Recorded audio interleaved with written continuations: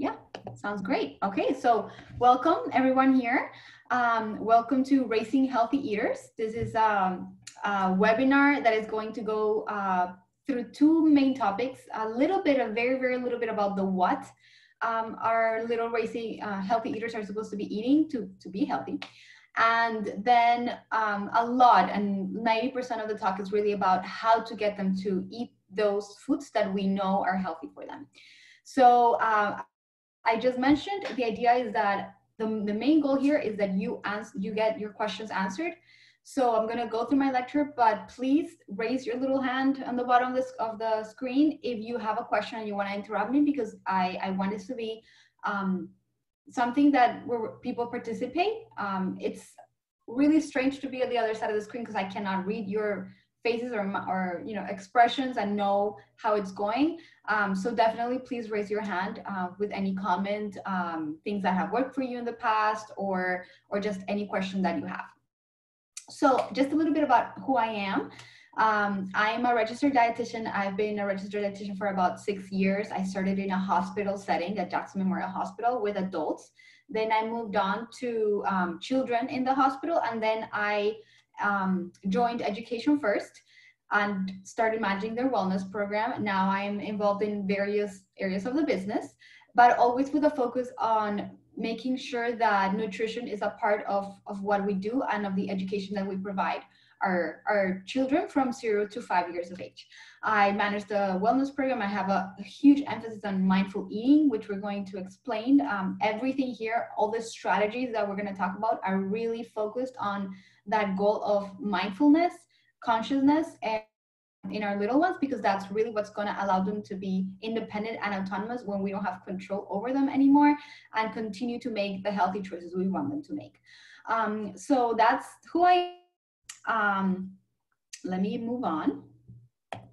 Okay, so um, what are the purposes of today's lectures? As I mentioned, to explore what good nutrition really means for children between the ages of one and five, um, and to understand how that those strategies of mindful eating can help against picky eating or simply to encourage those um, healthy habits that lead to good nutrition.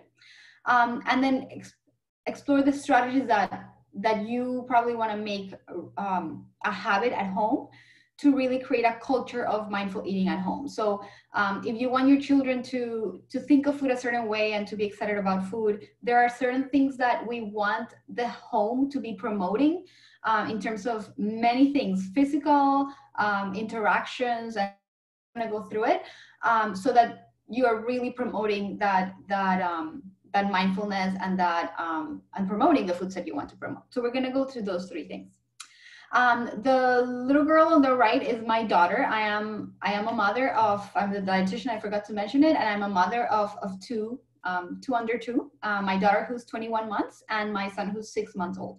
And you're gonna see a lot of videos of my family and particularly her and other um, children that I know um, because I wanted to make this as real as possible. I don't want to put a bunch of really pretty pictures of families eating together and then, you know, we have to keep it real. So I'm trying to give as many um, real examples as possible about how this works. Awesome. So um, before I start, I think it's extremely important to um, explain what good nutrition really means. So when we say, oh, our children are having a healthy diet, what does that really mean? What are we really saying with that? The first thing obviously means, you know, having the nutrients that they need in order to grow well, um, to grow at the pace they're supposed to be growing for their age, to be development, um, meeting all those milestones that we want them to meet, um, and to prevent disease.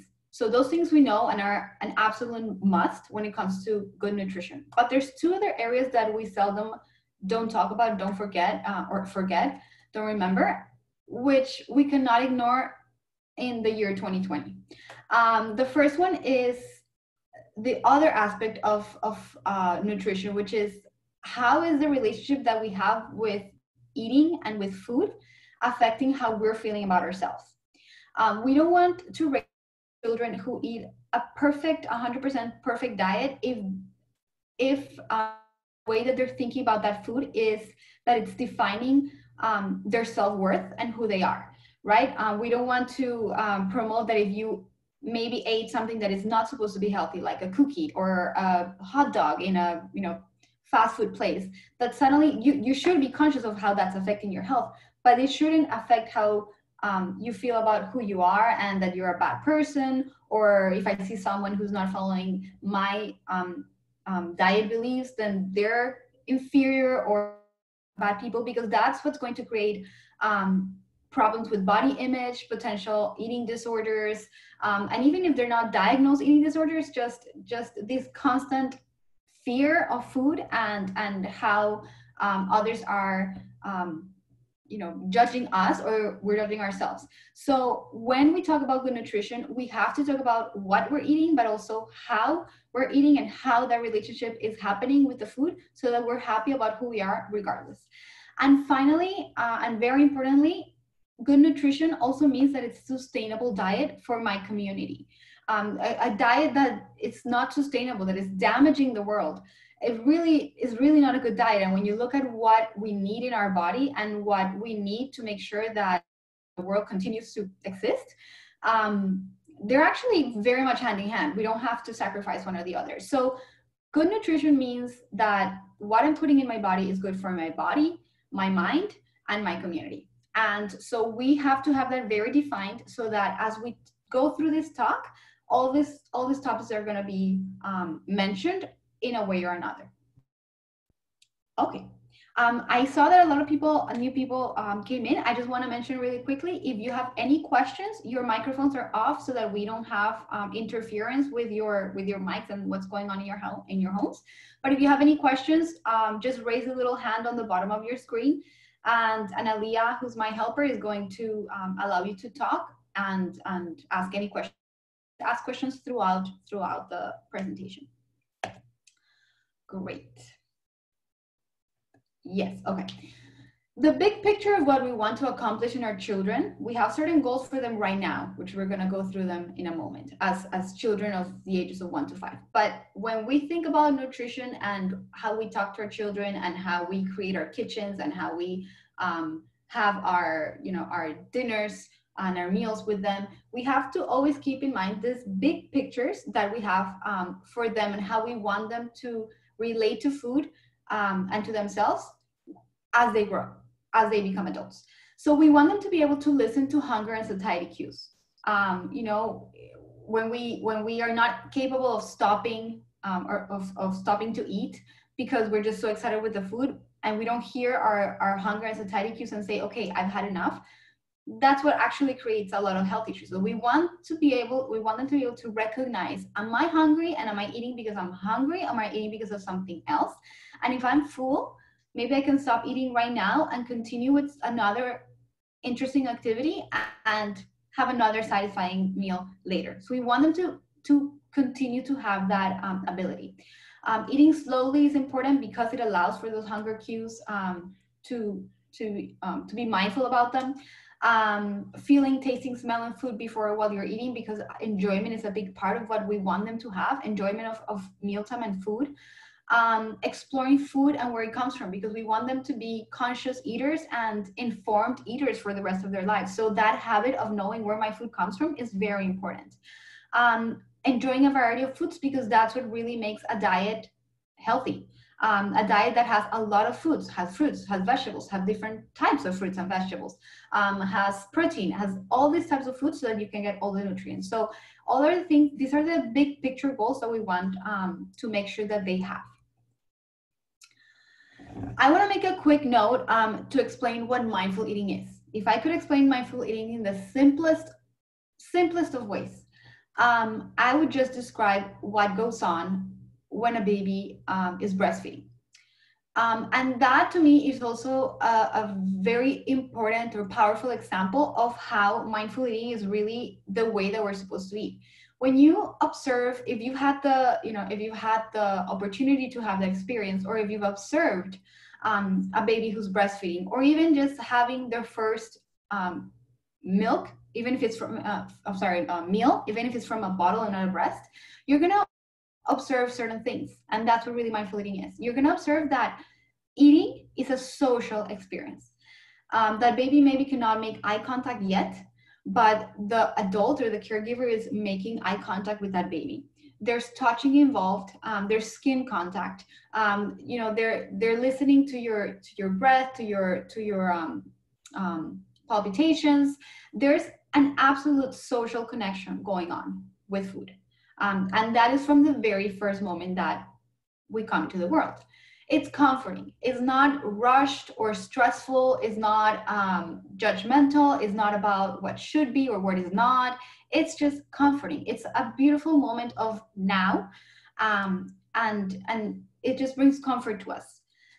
And it follows those hunger cues that i was mentioning. The baby um, gets fussy when they want to eat. They you know they go to the breast or they get the bottle and then sure many times they stay there for comfort but not really for hunger. They stopped eating so it follows hunger cues is extremely social and is definitely comforting so when we think of again mindful eating and how our food environment should be it should be social it should be comforting it should not be stressful um, and it should follow our what our body is telling us about the food that we're eating. Okay. So just to keep those goals in mind that we want for our one to five year olds to get a little more specific, um, we want obviously, as I mentioned at the beginning, to create, um, to have nutrition. We want our children to be eating the foods that are proper for them now um, to prevent disease, grow, and everything. But if you are feeding, force feeding your child the perfect nutritious soup every day with every single nutrient, calorie, protein, whatever that you had, and you were force feeding them, I would have to, you know, doubt that that's really good nutrition because what happens with that child becomes independent. So creating habits is one of our most important, um, one of our most important goals right now. It's not just about what they're eating today in the plate. It's about making sure that they, the habits that we have every day, marathon, not a race, the habits that they have um, they're gonna keep and they're gonna want to keep as they become independent eaters. Um, that we constantly expose them to many flavors and textures. The younger the child is, the more likely they are to, um, or, or, or the more in development their taste buds are. So the more likely they are to eat a variety of foods as they grow. Definitely the first year is the most important, but as the first five years are still extremely important in those habits and trying those foods and a love for eating, right? So that they can continue those habits. These are the goals that we want for our babies. Not our babies, our children, one to five, not so little anymore. Okay, so as I mentioned at the beginning, I want to spend 90% of today in the how. How do we get them to eat those healthy foods? But I do want to give a moment to the what, because um, just in, in case that there's any questions, I usually find that parents today are very knowledgeable about what children need to be eating. Um, doubts are small, or if there's doubts, they're usually um, you know, they're right about what they were thinking. So I do want to um, open the floor right now in case there's any particular questions about what you, should your child be eating. Should they be eating this or not that? Can I eat how much of this? How much of that? Um, are there any questions right now about the nutrients or the foods that your child should or should not be eating. And if there are, um, you can just raise the hand on the bottom of the screen. I want to give a couple minutes. Um, and Analia will open the mic so you can ask any question that you have about what to eat.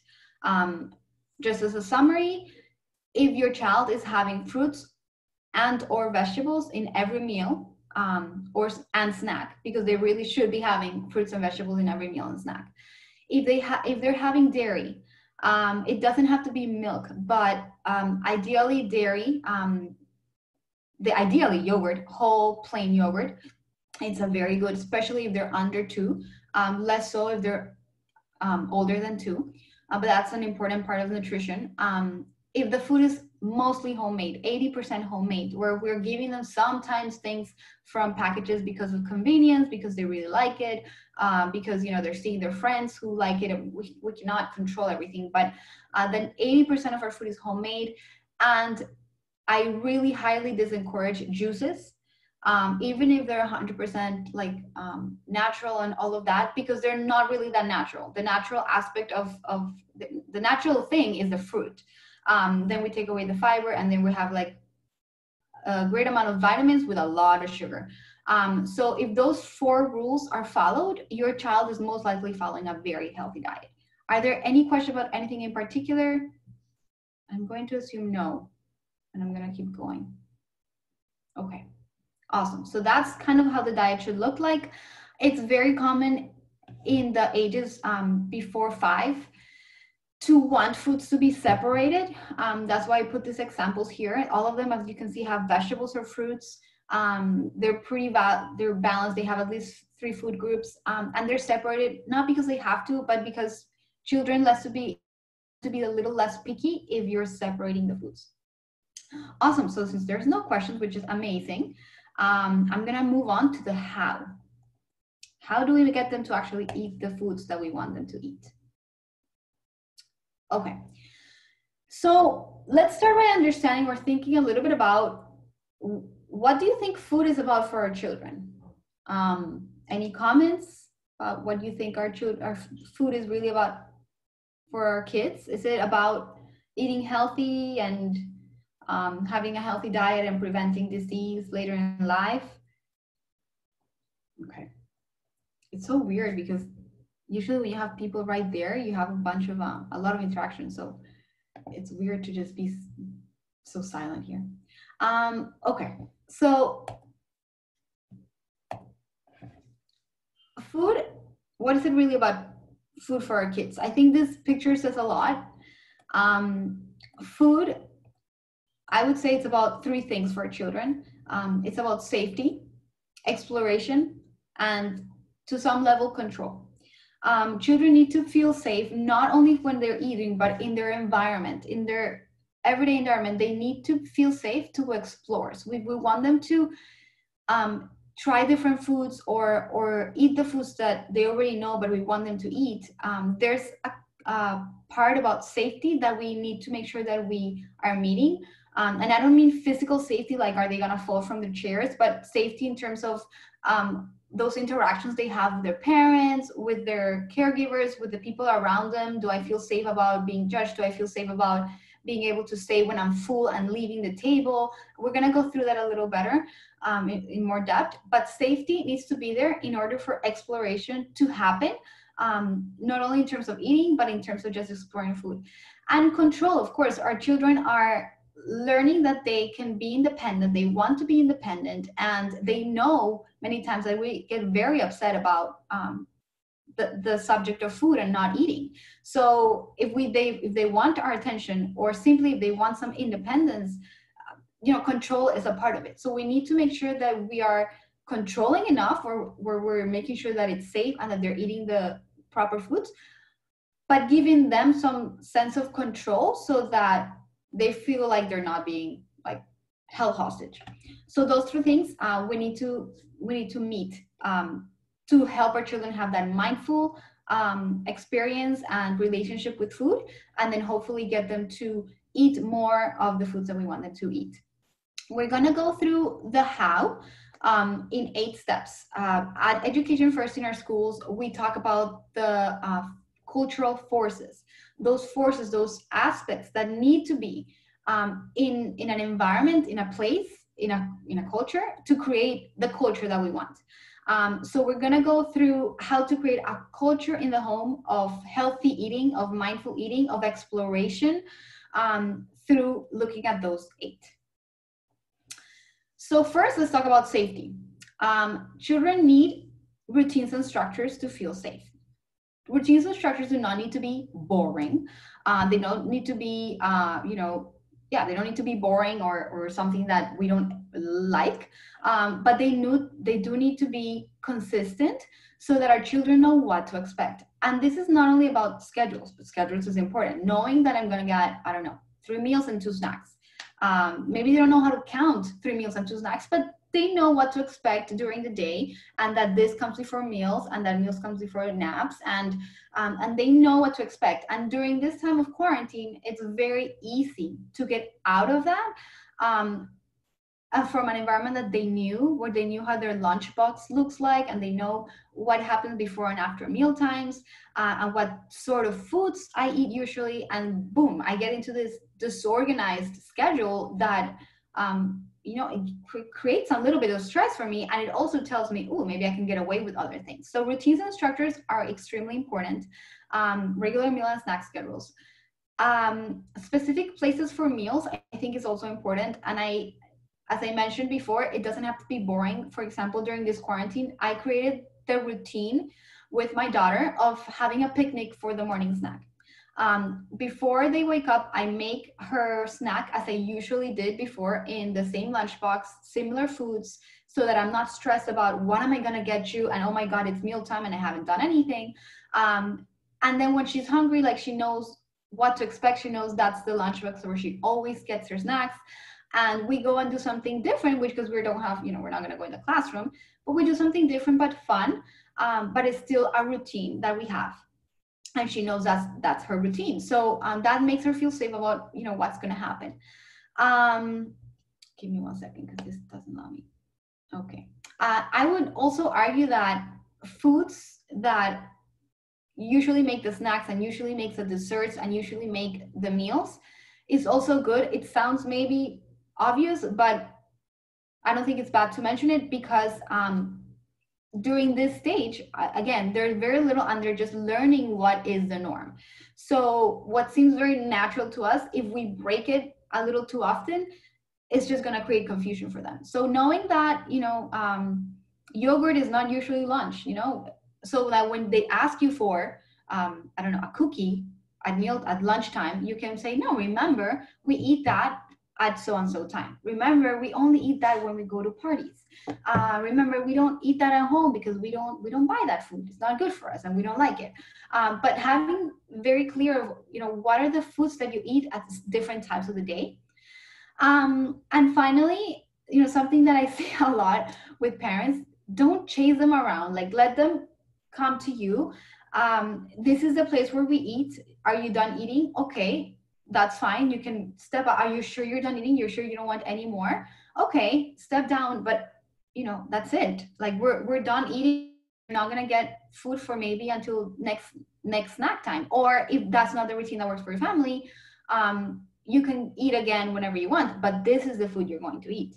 So you also have to think about what works for you and what you believe as a family. There's not one right answer. These are just examples of what's going to help you create that mindful eating culture but you have to think about what's what makes sense for your family and what goes with your family's values. If um, if your family for example uh, knows that they've struggled before with someone in their family having an eating disorder so they never want to um, force their children to eat um, and finish the plate. So that you know you have to have that in mind. But if you're someone who maybe really really cares about not wasting food um, then maybe you know it's a different it's a different routine. But whatever it is it has to be clear and children need to know what to expect so that when you want to um, make them you know do their routine it makes sense to for them and it's not like no i know i can get away with this sometimes.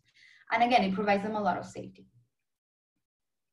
So that they can then go and, and explore and do the other things that we the more fun things that we want them to do.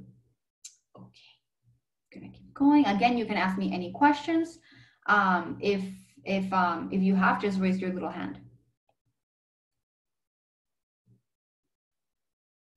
Okay, so you have your and structures, and with that, very connected to that topic, come expectations. Um, expectations again decrease stress, and there's some expectations that I do want to um, I do want to promote because of, of the mindful eating culture that we want to we want to um, do in our homes. Um, so there's certain things that, for example, in my home, we we have as expectations, trying foods at least once. So maybe you don't have to finish the whole meal. And I feel safe because if I say that this food I really don't like, um, you're you're left to decide that and to and to take make that choice. But we do want you to at least try it, to take the risk. So maybe an expectation could be to try foods at least once um, again, do they have to finish meals? Is it an expectation that when you sit down, you finish your meal now and then you have to you have to go, or is it an expectation that um, you know you don't you don't have to eat it all now, but whenever you choose to eat, this is what you're gonna eat. What are the expect what are the expectations that you have, and make it very verbal, constantly, so that your children know um, what to expect. Um, respect Uh, what do I mean by that? Um, respect for the person who made the meals, respect for the choices that maybe my little brother or sister are making in the table, or my dad or mom are making in the table, respect for the food and where it came from. And so I, the beginning, I talked about sustainability and the connection to food. Um, and this has a lot to do with it. You know, we don't throw our food in the floor because someone worked really hard to get that to us. Maybe it's the farmer, maybe it's the cow. The cow worked really hard to, you know, make that yogurt. So um, respect is, a, I think it's a very good um, um, conversation opener to then why we deal with food a certain way, why we don't throw away food, why we at least try the food one time. Um, and it opens the conversation um, in a way that is more about respect and, and how and empathy towards others uh, versus you have to eat that food. Um, so that's a very big, it's a very small word, but it's a very, I think, important topic to have in the table and in the kitchen with, with your children. Um, again acceptance of different preferences of tastes maybe you know my little brother is you know learning to grab the spoon and i'm not going to make fun of that. Um, all those things are going to allow the little brother to then have a good relationship with the food. So acceptance of different food preferences i'm talking all about the home but we take this to school you know you have all these cultures and all these ways of eating and all of them are correct. So um, that really allows the, the um, culture of mindful eating to extend to, to the home. I see a raised hand from Melissa. Um, can you guys, can you? She made that question in the question and answer. I'm sorry? She wrote a question. There's a question here. Can you repeat again what you said about if they need to finish the food? Okay, yes, that's a topic I went through very quickly. Um, the first thing I'll say about that is, know, there's one thing that works for your house and for your home and for your culture, and you need to think about what works for your home. Um, in my professional and now mom opinion um, of what I see happens with children I've, I've you know been with or um, um, had patients as children or as a mom. I feel that when children are expected to finish everything in their plates, there's some on. The first thing is we're not really teaching them to eat based on hunger and satiety cues. Um, what we put on their plate, you know, we might think that's what they need to eat or what will make them full, but it might be too much. Um, it might be too little. It might be too much. So we're disconnecting them from that innate ability that I mentioned at the beginning of am I hungry? Am I full? So, mom, I'm done. Okay, so have the conversation. It's not just okay, step out of your chair, goodbye, you're good.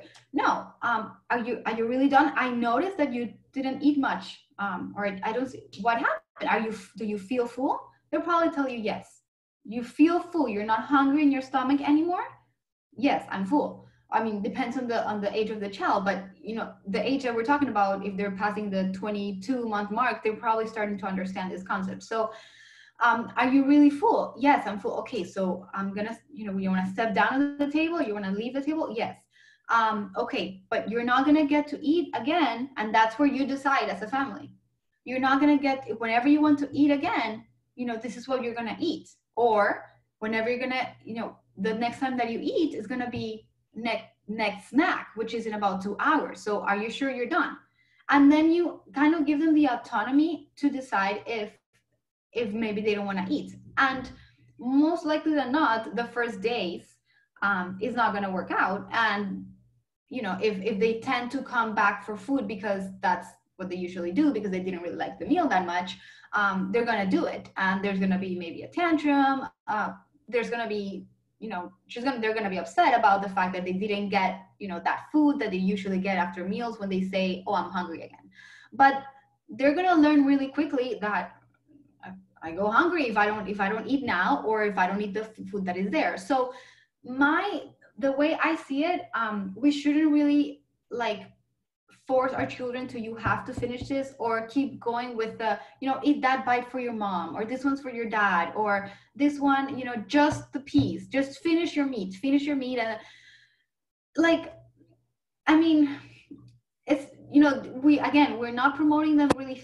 thinking about how they how they are feeling physically um, i think it's more powerful in the long term because remember we're talking about habits um, in the long term to have the conversation of how do you feel and do you really want to make that choice right now? And are you aware of the consequences of that choice? And sticking as a parent to uh, those consequences whatever you choose them to be so that the child has those expectations which we mentioned before and those routines and structures and then they can make decisions um, safely knowing what to expect.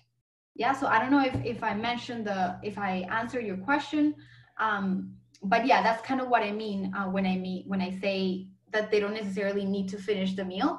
And again it's your culture and maybe there's a reason why they should finish their meal. Maybe they're underweight um, and your doctor and you know someone who you're talking to very closely is recommending you know otherwise and they need to eat and um, or you know that they're giving you're giving them very small meals throughout the day because that's the way you want to feed them and so you know that they need to finish this meal. Uh, but in general my recommendation my my mentality is more of empower them to make the right choices. Um, yeah. Hopefully i answered the question um, so yeah that's again with the expectations and how they decrease stress. And again family culture what is allowed what is not allowed. And have in mind their um, where they are in the in their developmental stage not only because of their age which, which strongly you know tells us where they are but um, but just from what you know about your child is it realistic to expect them to see through tw- um, you know 30 minutes of, of mealtime or not? I don't i'm not saying they're not i'm just saying are they um, is it is it realistic to tell them to eat with their mouth closed when they're a certain age um, so having expectations that are realistic and that you have noticed they are capable of doing. You've noticed them being able to do it, then that's an expectation to have. But if they've never been able to, is that expectation creating stress? So just making sure that you have those expectations that are realistic and that, and that are always there, that they become a routine so that your child feels safe. Okay, so we covered safety, I think. and again, if there's any questions, I know this is a topic that probably starts making us think and am I really doing this? And how about that scenario? Um, then I'm going to go into the third um, cultural force. So we talked about um, routines and structures, expectations, and then we have interactions. Uh, interactions mean interactions with our caregivers, our parents, interactions with our siblings, interactions with our food, um, and with our food source. All of those are going to help us have a connection and a positive connection to food. Um, and this goes a little bit more now um, from safety into opportunities for, um, for exploring, but I think it covers both. So interactions, Wh what are my interactions with my caregivers when I'm around food? Uh, whether it's mealtime, whether it's cooking, um, am I an important part of the process. Am I, am, are my interactions during cooking time, please don't bother me, this is a dangerous place, and can someone please take care of you, or can you please go to your room because mom is cooking or dad is cooking? Um, what are the interactions with the ch child around around the preparation and, and getting food ready? What are the interactions during mealtime? Um, is it because of logistics that the child is always eating alone? Um, or, or are they having an opportunity to share that valuable time that they so much crave with with their parents which is not usually um, that much time if they go to school? Now you know in quarantine we have a lot of time together but usually it's not. So um, are we allowing them to have those positive interactions during mealtime during prep time wherever we have um, interactions with food that is going to encourage them to care and be interested in food? Um, so how are our moods? How are the conversations during mealtime? Are we having really strong conversations? Um, you know, all those interactions, we want to make sure that we are taking care of them um, so that uh, so that we can have a positive atmosphere. Um, am I allowed to have an interaction with my food outside of my plate. So, mm, you know, there's things that are safe, there's things that are not safe. Um, maybe I'm not going to get them to cut vegetables if they're a certain age or the vegetables are hard, but you know, they can steer far away from the fire. They can um, they can do different things, which I'm sure that you you, you guys know. But um, they can steer something, they can cut, they can help choose what the food is going to be. Um, they can pass things around to mom or dad. Um, you know, I we're talking we're going to talk about the environment, but maybe the safe things, the safe pots and pans, the safe um, items can be at a level of our children so that they can um, help and be little helpers, which is going to be very, very important um, for them to really care about food and, and be encouraged to, to try food and to, to have a relationship with food. Um, are we giving them maybe once in a while the opportunity to have uh, interaction with the food source? Um, right now in the quarantine is not the right time to think about going to the supermarket and talk about food or to go to a farm but outside of quarantine it is and um, and if not can i have maybe a connection to food virtually can we watch videos of how um, cow is milked or how um, you know a vegetable is grown or how it looks in the in, in, in dirt when it's still in dirt. Um, or can i maybe watch uh, something about a farmer and and and you know how their life is and you know all of that. So allowing for that interaction um, with the food and the connection with the food um, is also important and and it starts starts the topic of those opportunities um, opportunities to to explore food okay so i'm gonna well this is a, a video um i don't remember why i have this video here.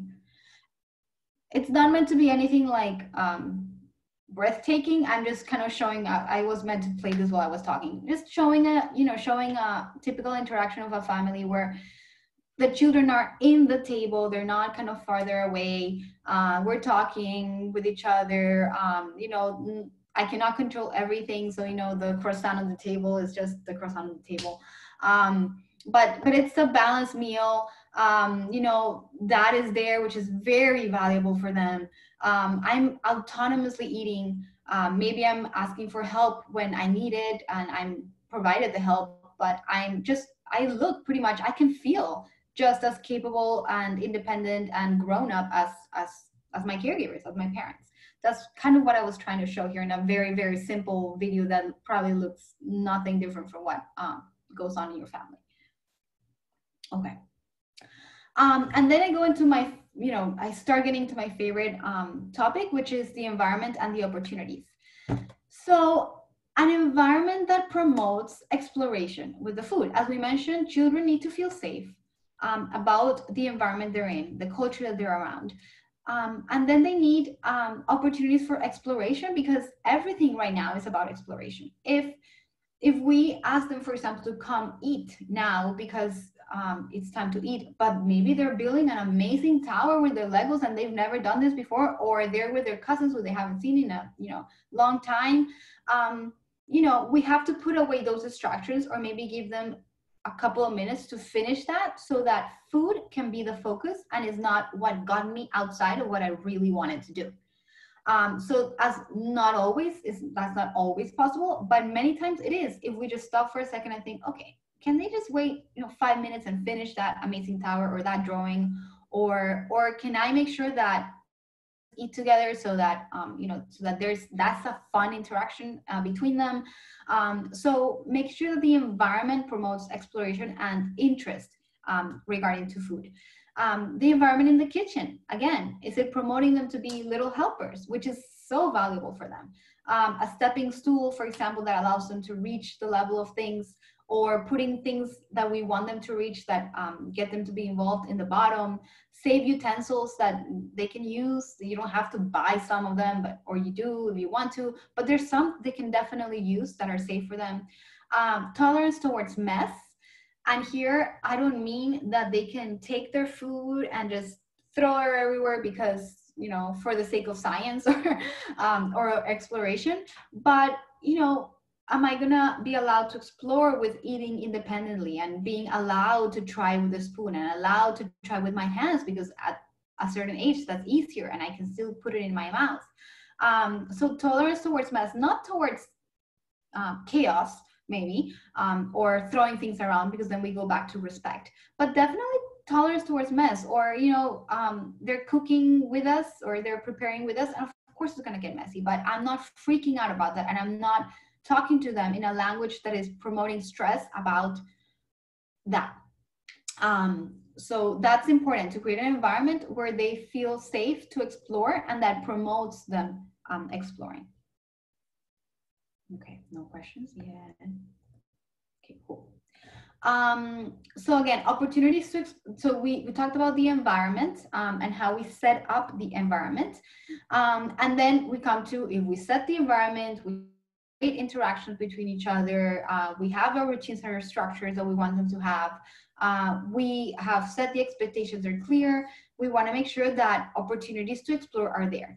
So we need to create those, not just with the environment, but by inviting our children um, to explore to be part of the meal making process. Maybe one day I'm going to tell them what to do and they're going to follow the recipe and they're going to but maybe one day they get to explore and make and play chef. And they're their own chefs and they're making their own meals. And you know um, this is a video of my daughter um, making quinoa. Um, this is not how I usually make quinoa. Uh, I usually put it in the fire. But I created the environment and the opportunity for her to have a say on on how to make this, and was directing her a little bit. Uh, I will say that I did make another batch just in case it didn't want to turn out and nobody wanted to eat it, but it actually turned out fine. She then wanted to put the cheese in it. Um, I didn't say no, you know, it doesn't go with cheese. Like no, she put the cheese. It's not dangerous. Um, it's not necessarily unhealthy. So go ahead and try. And um, and then we ate it and it tasted fine. And the only thing she wanted to eat that day was quinoa. Um, and she just 20 months old. So um, this is gonna encourage them to try the foods. Uh, if we allow them to go in there, um, you know, help choose the groceries if, if they're in the grocery store, uh, you know, maybe um, if they're old enough, they can get off the cart and, or they're from the cart, you know, you're gonna help me choose the apples because you know and i'm going to be right next to you here choosing the oranges but you help me choose the apples. I need five apples. Choose the ones that are the best for you because tomorrow we're going to have some apples for your snack.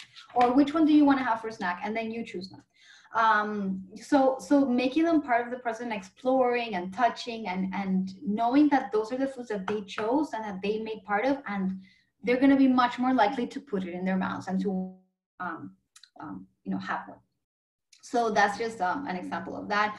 I'm making it safe with a stool that helps her reach, but it's also safe. The fire is far away, a little bit longer, but it would have taken me much longer if I was trying to keep her away while I was doing this. Okay. Questions? Not yet. Um, this is a video from, uh, not from my daughter, from a friend and, and co-worker. Um, and this one I do want to have sound for. Analia, I don't know if we can have, because um, here's another example of how she turned food into play.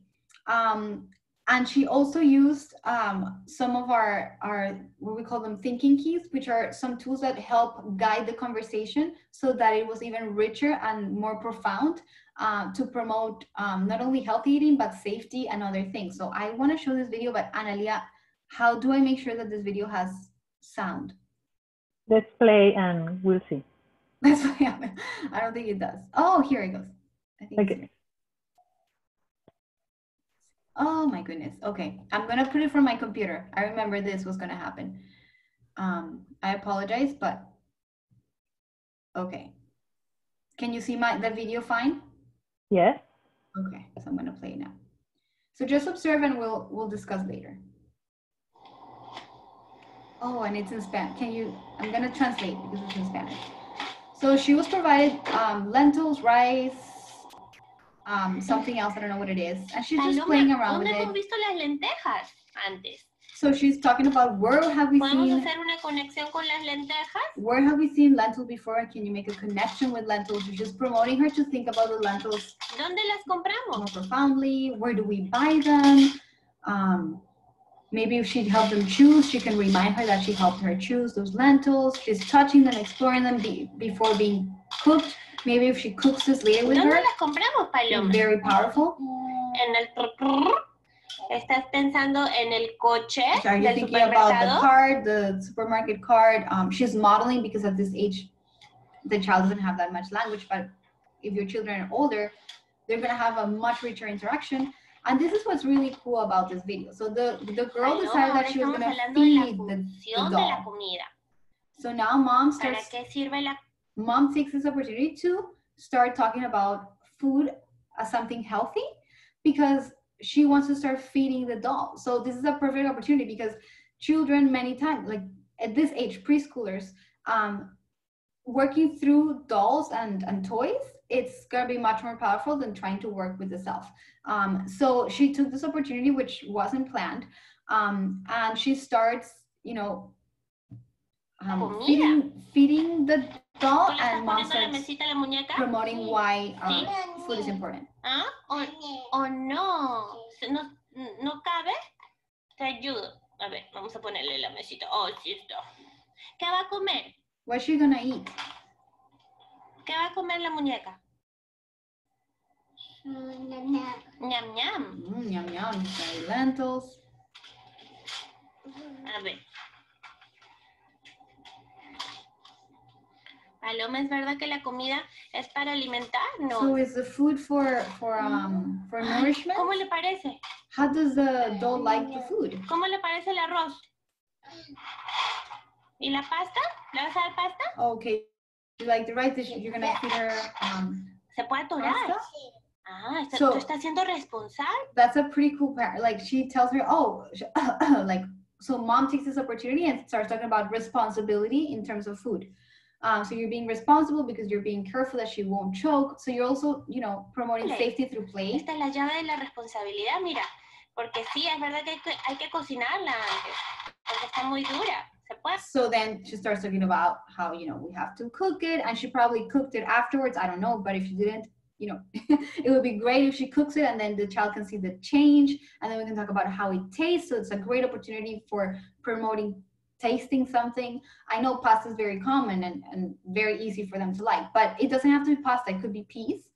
Um, it could be a vegetable that you're going to turn from raw into into into cooked, like kale or spinach um, and just kind of checking out, not making it so much about you have to eat, but look at this food and you know, oh, you want to feed it to the doll, or maybe they don't, but now let's cook it and you get to steer and you get to look and you get to pour the water if you're old enough, and then just try it to see how it changed. Let's try it.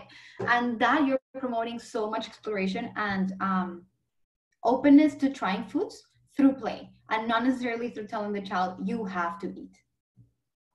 Um, so I thought that was a very, a very um, powerful example. Um, more opportunities to explore, um, just taking advantage of their interests at the moment. Are they really interested in dipping? So create opportunities to dip. It doesn't need to look this pretty, but um, opportunities to dip fruit or vegetables or whole wheat uh, bread in, in different things. Um, opportunity to make, you know, shapes, and that's going to help them and getting uh, excited about the different shapes and trying the foods and putting it in their mouth um, making healthy little like sandwiches for it's a meal time because it's a big sandwich or they get their own and, and they start putting in bananas and you know uh, no sugar peanut butter and just making it a game having very creative about what is my child really into right now um, for example an, an, something that happened to me um, I gave her this uh, opportunity to my child to make the quinoa. So I was like, she's super interested in this. I I am so excited. Now we're gonna make arepas. Uh, arepas are those corn cakes, if, if you're not familiar with them, uh, because of course it looks like Play-Doh. She gets to mix, she gets to get messy. Well, I set this whole thing up and she could care less. She just wanted to eat them when they were ready. She did not want to get messy with her hands, which she did not have an issue with before. Um, and so it didn't work for her so her interest always is the steering i don't know why so i take advantage of that to promote. And you're going to go through a process of trial and error where things don't always work. But being conscious of what is my child into right now is are they into maybe something completely different like cars. And i'm going to talk to them about how uh, food gives me energy and how that connects to the cars and they have energy and fuel to go. And you know so what are the topics that i'm going to use to uh, play with them and explore food in a different fun way. Um, and again, this, I mentioned before, like asking them to choose and to and to help you out, to be your helpers. Um, so we went into exploration opportunities for exploration, environment for exploration. We talked about safety and uh, we talked about exploration and those needs. Um, and we also mentioned at the beginning that children have a need for control. And you cannot give them, you know, um, unlimited control because of many reasons, uh, but you can give them the sense of control and some control. These are just examples of meals um, that I have with my child where I am giving her control um, I am giving her the, um, obviously the routine of how a meal looks like, um, but I'm giving her the control of, I'm gonna put all of these options in, all of them I'm happy with if you choose, um, but you choose. Um, and I started doing this because um, many times, first we don't we don't have the time, so we're still like, oh, what do you want? A yogurt here, and then you know, what if they had wanted something else and they would have eaten better if I had provided them more options? Uh, maybe they would have had a better meal. It's less stressful for everyone involved. Um, or if they're in the care of somebody else, um, I already have this set, so it's I control that it's healthy. I control that she gets control. Um, and I don't have to depend on somebody else maybe making the choices for her and maybe telling me later she didn't eat. Well, maybe she didn't eat because, you know, if she, she eats with this. So it allows me to provide some control um, to her um, in, in a way that, that still allows me to control the nourishment that she gets. Um, so, and it doesn't have to be always like this. It doesn't have to be all in a plate. But mom, I'm hungry. Okay. Um, and then you can give her three up. Three is a very good number for options for for little kids. So um, verbally you can tell them okay you're hungry. Do you want maybe um, yogurt or you want an apple or you want some um, some peanut butter and on toast? I don't know. Um, or maybe you want to really promote fruits. So you just give them the option of three fruits. Or you know john we're gonna have vegetables in our dinner tonight. Do you want tomatoes spinach or i don't know um, celery i don't know. And then giving them the that control over yes we are going to have vegetables but you get to control which one um, and maybe you get to control how much or at least trying it is an expectation but you get to control to not want to eat all of it and that's okay but you know celebrating that they liked it and they have control of stopping all of that um, is going to take away that stress of um, or that or that need to control or that need to say no because i just want to say no to my mom so that i can win this battle. Um, that just takes away the battle and and makes it more likely that they'll try foods maybe they won't try it today the first time that you did it but exposing them slowly and kind of watching them from the side to see what they're doing so that you can um, you know uh, do it differently next time or, or continue to do the same but letting them kind of be and have their space um, is very important for picky eating very important for promoting that independence that autonomy and making sure that their their um their habits become habits for life that they continue to maintain um, and then they can think in the future about you know how avocados are taste great or how tomatoes taste delicious and because they were able to try it and, and to get their opportunity to try it independently and with some control um, this is a very important part that we often forget. Um, this is a video of just, it's really not that amazing. It's just my daughter eating by herself. um, but it's the idea that it's not someone there just feeding her with a spoon uh, and choosing which food she's gonna have next. Um, obviously, she's gonna get the floor messy and the area messy. Um, there's you know different things we can do about that but she is choosing if this bite is a pasta or this bite is um, a vegetable um, or or whatever. Um, so there's some control there. Is she maybe gonna have every single vegetable that I put in the plate? No, but she's neither gonna do it if I try to force it. She's gonna stop. She's going to fight. She's going to say no, and there's gonna be you know uh, uh, a situation that is not fun for anybody. So she, at least she had some. Uh, remember the long-term goal is not just to have her eat vegetables now. Um, maybe um, I do other things to make sure she has her vegetables. So I provide her the control, and then maybe at dinner there's a vegetable soup where it's she loves, and it's so easy to just make sure that she has all the vegetables. But throughout the day, I gave her this autonomy to choose um, how much and if to put those foods in her mouth. Uh, but I continue to promote them, so I control that. But she decides, um, you know, if she if she wants to eat and how much she wants to eat. That's kind of what I wanted to show with this very simple video. And as you can tell, that was a long time ago. That was in Christmas. so she was about 19 months, I guess. Um, yes. Um, and then uh, we're, I don't want to go over time. Okay, we have like four minutes, but this topic is extremely important. And I want to show you a very, very, very powerful video of one of our teachers um, modeling the language and using the language that you guys really want to incorporate. So we talked about that perfect environment, that amazing environment, that safety feeling for the children, those opportunities that you want to provide. Um, but all of this should really go with um, with a certain conversation that you want to have with your children. Um, and the conversation to be very positive and it has to promote those things that we already mentioned we, it has to promote the exploration. It has to promote the positive relationship with food. It has to promote um, the the the ske- not the schedules the routines and the structures that we mentioned. Uh, but it has to be very positive. So celebrating good behaviors. Um, taking risks is one major behavior that you want to celebrate. If your child decides to try one carrot and not try any other carrot or any other spinach leaf or anything else, do celebrate that. Let them know that you're very happy and very um, um, proud that they took the risk and that initiative to do something that is scary. So risk taking, always saying, well, you took a risk and try something new. Um, or, okay, you didn't like it. Well, at least you tried it. I'm proud of you. I'm proud of you. You tried it. And that's going to encourage them to try something different next time versus you just ate one. Come on, try it. It's good for you. It's delicious. Mommy likes it. Daddy likes it. You know, well, I don't like it. So, um, you know, I'm an independent being. Um, independence is another behavior that you want to promote and that you really you're promoted with the environment with the opportunities but with your language.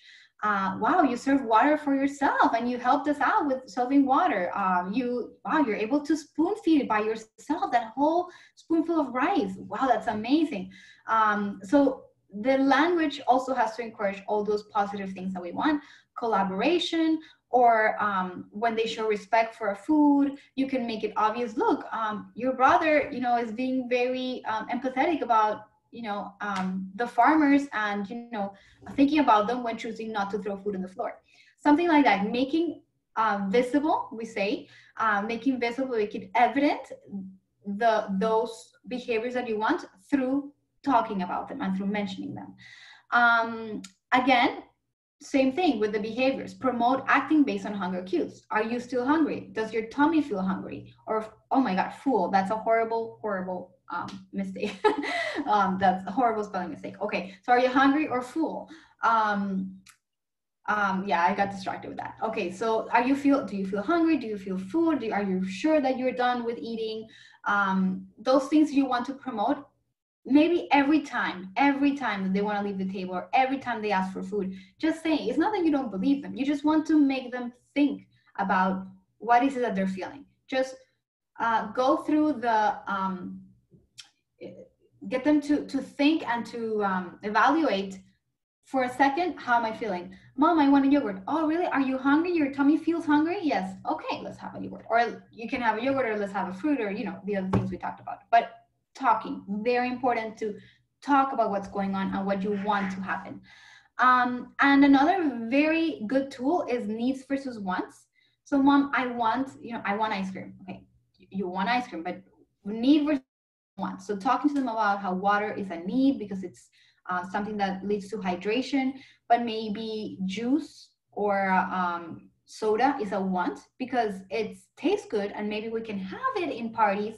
Maybe you can have it once in a while, but it's really more of a want. So we're going to treat it as a want and we're going to have it once in a while. Um, but water, we know we need it because we need hydration. Um, or ice cream. Okay, you want an ice cream, but we need nourishment. We need to eat healthy. So we can have an ice cream later. Um, it's not because it's a reward because you finish your vegetables, but it's because it's a want. And the need, really, what our body needs is nourishment. So let's think about what our meal is going to look like so that we meet that need of nourishment and then we can have our want. It's another very important tool, um, very powerful tool that you can use to have a com- positive conversation that provides autonomy and provides them to um, become independent in the way they think about food and the, their approach to food. Okay, to finish, um, I just want to show um, well, the thinking keys, which you all have uh, shared to you since this quarantine period started, are very good conversation promoters, um, uh, conver- promoters of deep conversations, as the one that I just mentioned, because sometimes we don't know as parents what to say anymore, or other than this food is really yummy and do you like it and uh, corn is yellow. So these give you those tools um, to have those deep conversations if you want to promote something like um, healthy eating. And I want to show you quickly um, the video of the teacher that I mentioned, which I also have um, in my computer because it's too large and I couldn't put it. Um, because I think it's very powerful and I want you to notice all the behaviors that she's encouraging. Um, yeah, all the behaviors encouraging and how positive she is constantly around the topic of food and about what the children are doing. So I'm gonna let you watch this video. Right Um, if if you don't hear it or something, let me know. You. Well, whose name is this? Wait, Everything, not everything. But thank you for that. Whose name is this? Who are you? So they're starting with one of the routines Jacob and structures. And Mateo are giving out the spoons. They're showing responsibility, and you'll each get a turn like we always do. James, Being very you give it to vocal about Abigail. What they're doing right. These good helpers showing responsibility. These good helpers. Independence. What is, what is the habit of mind that we use when you taste something? Take what? Take a what? Take a risk. Take a risk. Alexander, let me see you take a risk and eat one carrot. Are we eating fast or slow? We're gonna be mindful. Slow. Slow, we eat slowly. That's mindful eating, we're gonna eat slowly. Let's think about it. What do we have that's showing a balanced meal? Uh, uh, rice, and what does rice do for our bodies? Uh, It gives you energy, right? Did you hear what he just said? He made a connection. He said, when I eat rice, it gives me energy like a So she also Like a race car. I love that see? analogy. she's using their interest to I don't know promote. what this is. This is something new. What is this? I thought we were having black beans today, but I was wrong. Let me see. Good guess. Plantain. What fruit is a plantain? Are we all gonna take a bite of the plantain? Because the plantain is our balanced meal that's giving us our food. Where do carrots come from? So she's talking about food source and the connection with food. Where do carrots come from? Farmers, yes. Farmers. Then they can talk about You guys farmers. are eating a balanced meal. What else? Think about it. What did we do outside? Uh, we ran, and what is running? Making connections with other healthy habits.